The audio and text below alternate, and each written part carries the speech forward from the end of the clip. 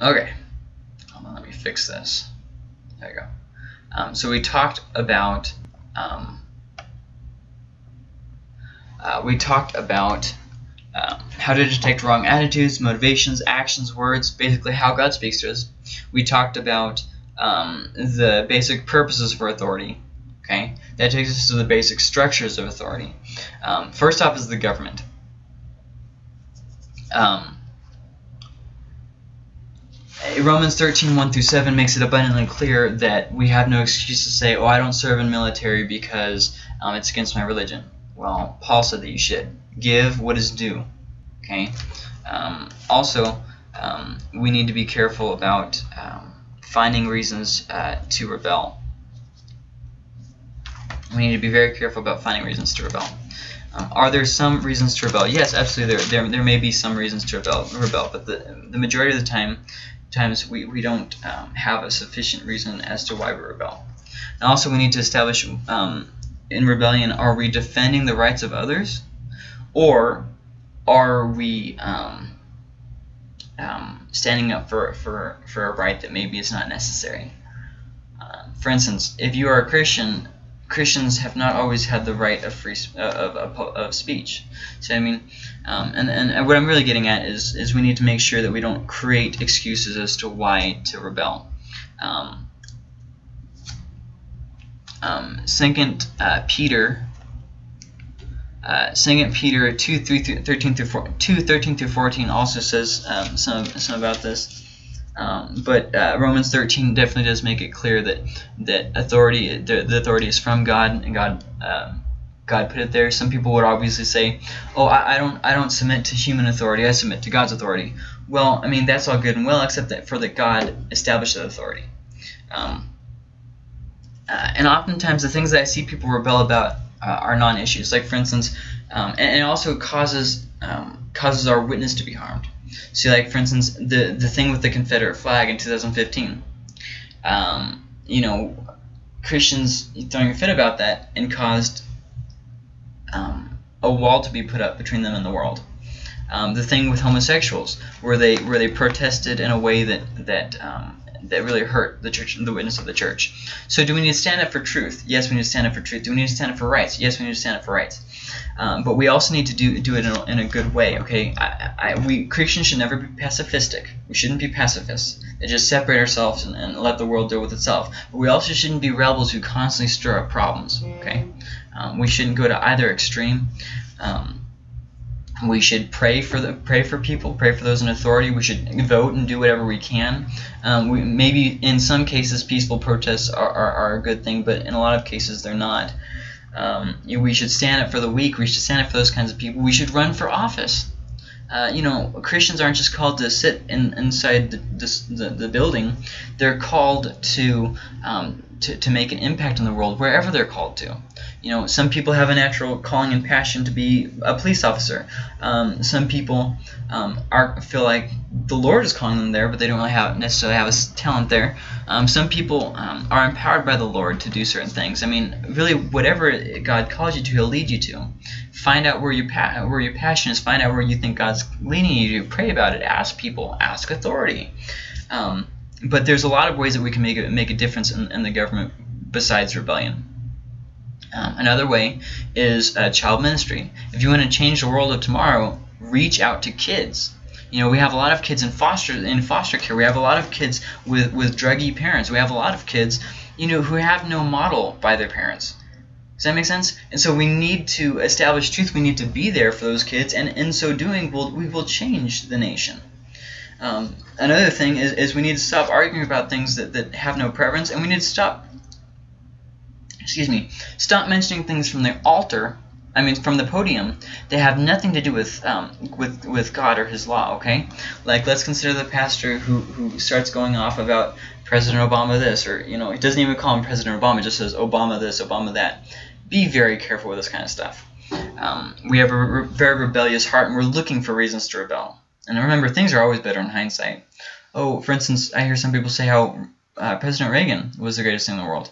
Um, some people are convinced that President um, Lincoln was, was the greatest thing in the world. Some people are convinced that Washington was the greatest. President Washington was the greatest thing in the world.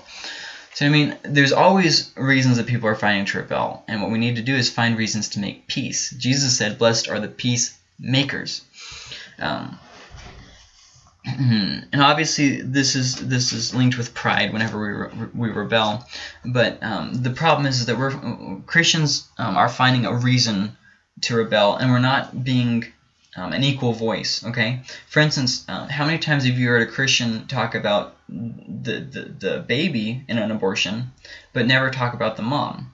See what I mean? We need to stand up for both people. We need to stand up for what's right and what's good for both. See what I mean? We don't have to pick sides, but we need to be just. We need to be. Um, we need to remember that that. Um, well, and then also another thing, just a little bit, is, we need to make sure that we're there for those people who choose not to have an abortion financially speaking yes um, maybe uh, an adoption maybe you know do what you can to impact the kids that you can impact i know sometimes people get really caught up in abortion like this thing with planned parenthood just tragic tragic stuff but then they don't do anything to fix it they just sit and complain about everything what about those kids in the in the foster care system who don't have any, anywhere to live what about them? Who's going to watch out for them? What about those kids who weren't aborted and the parents are struggling to make ends meet and they need government assistance or somebody's assistance? What about them? So, I mean, we need to stand up for people. We need to stand up for what's right. And we do need to, to, to change things that are there in the government and whatnot, uh, but do so in a peaceful way. Um, and so, is there any reason for outright, outright, outright rebellion? In some cases, yes, but we need to be very extremely careful. Um, King Solomon did something that was evil for the Lord, evil to the Lord. And so as a result, he caused a rebellion, told someone to rebel against King Solomon's son, um, and uh, separated the, the kingdom into north and south, the Israel and Judah. Um, Rehoboam was was was um, the kingdom was was divided under King Rehoboam, who was King Solomon's son. Um, so obviously, we see that sometimes rebellion is a thing. However, the problem is that we oftentimes get caught up into the culture of our country instead of God, what God wants. And um, so there's really no set rule per se, as maybe um, um, applying things to specific situations. Um, and it's really hard to say more than that, especially in a broad sense. Um, but uh, we need to do what we can um, with what we can. Um, second area of, of, basic structure authority is, is, business. If you read Ephesians and Colossians, Ephesians 6, 5 through 8, Colossians 3, 22 through 24, 1 Peter 2, 18, 1 Timothy 6, 1 through 2, it constantly talks about these, these, um, these roles of, of the slaves. And when you are working for someone, in, in essence, you are their slave. You are doing what, what they are telling you to do. Um, the only difference is you're doing, you're doing it for money. Um, so, government is the first basic structure of authority. We need to be careful about that. Um, and also, I would like to say this. It's, it's astounding how many people say talk bad about police officers, cops, or whatever, and then they expect their children to listen to them. The amount of people who tell their kids not to, to, to tell them tell a marketer that they're not there. Oh, tell them I'm not home, and yet are surprised when their kids lie to them. So I mean, our kids model what they see in us. Um, but then business, um, our, our boss, our manager, uh, once again, oh, I don't listen to them. I, I listen to my head boss. Yes, but your head boss appointed those lower managers. I don't listen to man, I listen to God. Yes, but if you really listen to God, you would listen to man because God established the man. See what I mean? That authority structure. There, there's, there's, here's you. Whoever's over you directly, who's ever over them, who's ever over them. See what I mean? There, there's a structure there. Um, also, the, the church. Uh, 1 Thessalonians 5, 12 through 13. 1 Timothy 5, 17 through 18, Hebrews 13, 17, and 1 Peter 5, 1 through 3 um, all talk about uh, um, how we should um, deal with um, deal with authority and whatnot. Um, uh, in the in the church. Um, and also, First Timothy does give us a warning. I think it's verse 19 and 20. It gives us a warning about believing things taken against elders with no basis to them. Okay, they, they need to be at least two or three witnesses. Um, but then also, um, be careful of those who are not under anybody's authority. Uh, the house churches, who, you know, oh, we're just here to, you know, um, we have this nice little Bible study. We don't ever do anything. We don't ever um, witness. We don't ever disciple people. We just kind of hang here and, and tell each other what we think the Bible says. And then there's nobody over their structure, over, over them. Jim Jones, who was his own authority. What happened with that? A bunch of people ended up dead. So, I mean, whenever there's someone who doesn't submit to anybody's authority, it's a bad situation. And I think that sometimes um, some in government um, positions, like maybe the president or whatever, um, can fall in a place of thinking that he's not under anybody's authority. But the truth is that the president is under the authority of all of America. I mean, um, and then we also are, are in subjection to his authority. It's kind of a two-way street kind of thing. You know, we voted him in, you know, that kind of thing. Um, But anyways, my point being, whenever there, there's a lack of authority structure, there's an abuse of privilege. There's a uh, there's an abuse of what's going on. There's an abuse of the system um, on one side or the other. Either the pastor doesn't or, or leader, whoever, doesn't have enough power, or he has too much power, and there's nothing there to regulate him. Um, you know, the people who have fallen to fall into scandals, into um, sexual immorality, and all kinds of different things because there was nobody placed in authority, nobody who they were accountable to. Um, and then family is another source. Um, Proverbs says over and over again about um, the influence that parents can have um, in, in, the, in, in, the life of a child. So let's read some of these passages. Romans 13, 1 through, um, 1 through 7.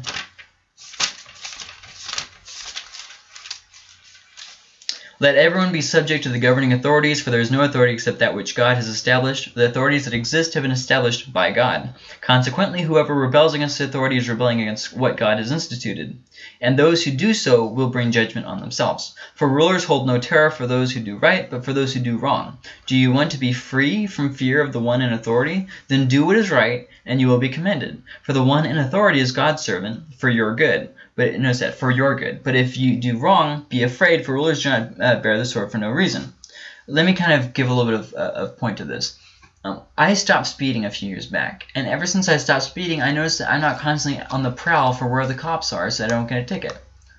Because I have no reason to look for uh, to be, to get a ticket. I'm not doing anything wrong.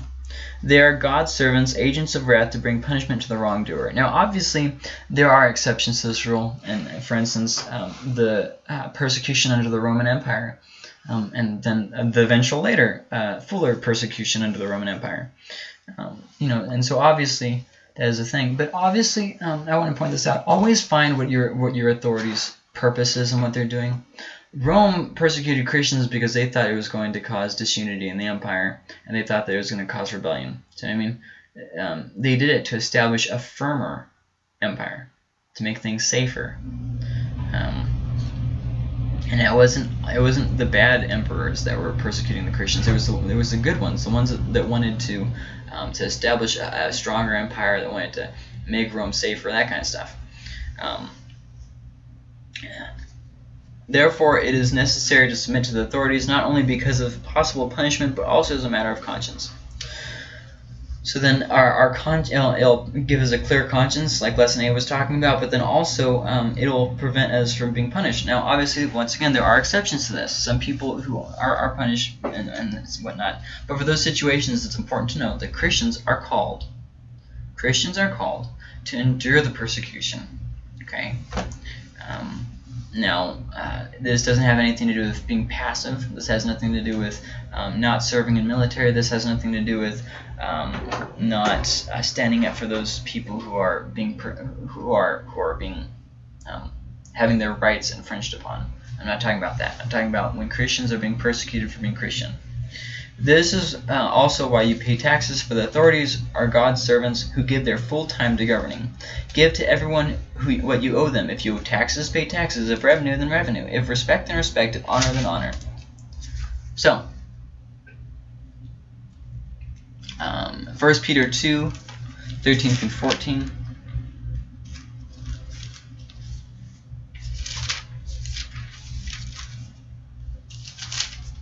Submit yourselves for the Lord's sake to every human authority, whether to the emperor as a supreme authority or to governors who are sent by him to punish those who do wrong um, and to commend those who do right. Um, let's see, 1 Peter 2.18. Slaves, in reverent fear of God, submit yourselves to your masters, not only to those who are good and considerate, but also to those who are harsh.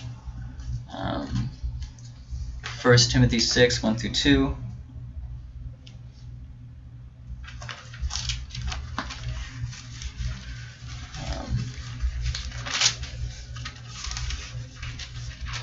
All who are under the yoke of slavery should consider their masters worthy of full respect, so that God's name and our teaching may not be slandered.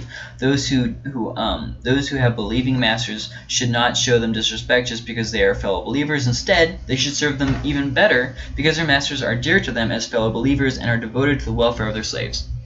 Um, so, uh, just just some things on, on business if you want more Ephesians 6 5 through 8 and Colossians 3 22 through 24 and the church uh, 1 Thessalonians um, 5, uh, 12 through 13. Now we ask you, brothers and sisters, to acknowledge those who work hard among you, who care for you in the Lord, and who admonish you. Hold them in the highest regard and love because of their work. Live in peace with each other. And then Hebrews um, 13, uh, 17.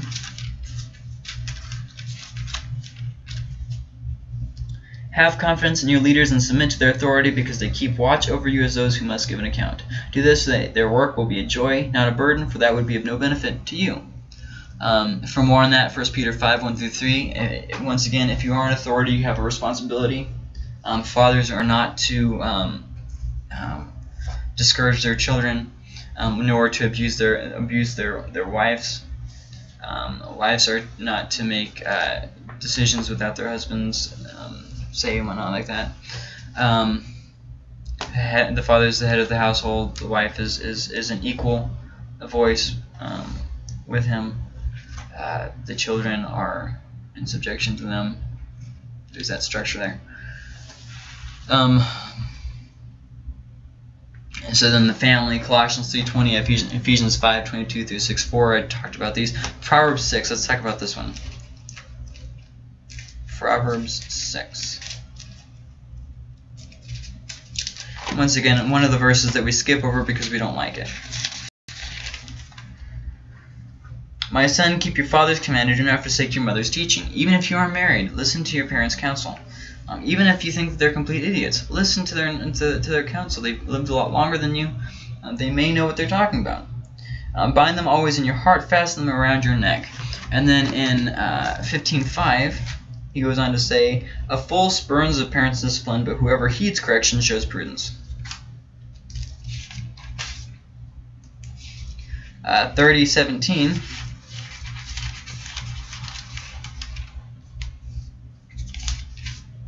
Um, says, uh, The eye that mocks a father, that scorns an aged mother, will be pecked out by the ravens of the valley, will be eaten by the vultures.